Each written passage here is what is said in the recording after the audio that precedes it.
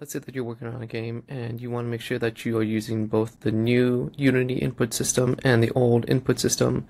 The way that you would do that is you go to your menu bar, go to Edit, go to Project Settings. I'm on a Mac, but it's the similar settings for Windows. On the left side, click on Player, and in the um, first tab over here, uh, it might look like this for you. Go down to the other settings and scroll down to find the input.